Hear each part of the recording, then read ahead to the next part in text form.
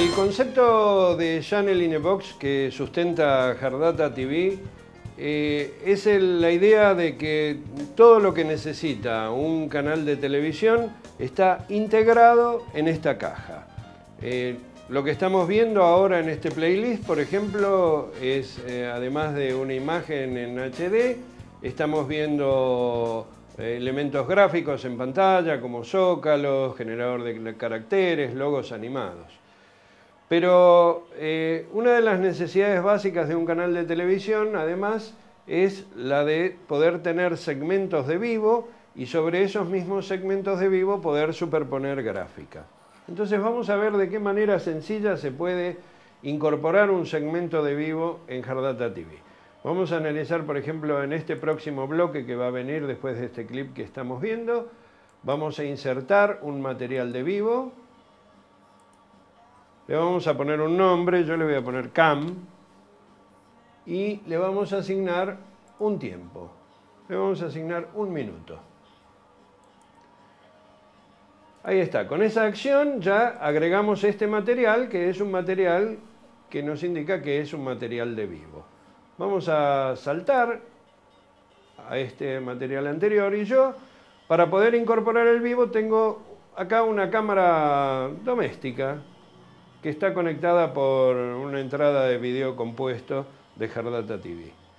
Entonces, cuando este clip que está en el aire termine, va a pasar al material de la señal de vivo. Ya está terminando y ahora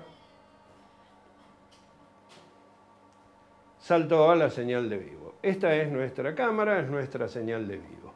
Sobre esta señal de vivo yo puedo incorporar un elemento gráfico.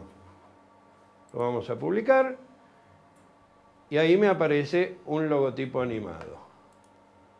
Vamos a poner otro que se vea mejor. Y ahí tenemos un zócalo, un logotipo animado, tenemos un generador de caracteres con scroll.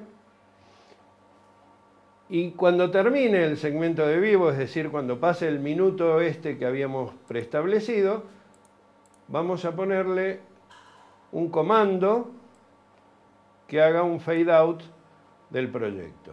Fíjense que yo en este clip agregué un comando que dice fade out project.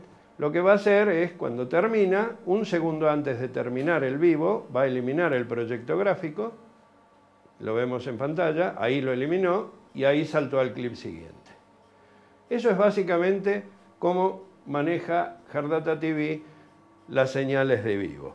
Este modelo que estamos viendo ahora es el 6120 que tiene una sola entrada de vivo. Tenemos otro modelo que es el modelo 6140 que tiene tres entradas de vivo y la posibilidad de conectar tres feeds diferentes y elegir el momento de incorporar un material de vivo si vamos a tomar el feed 1, el feed 2 o el feed 3. Así de sencillo se maneja este Channel in a Box de Hardata TV.